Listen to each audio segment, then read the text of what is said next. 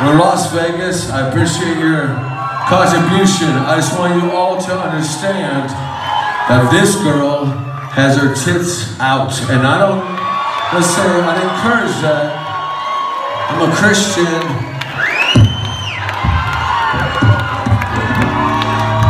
I, I, whatever.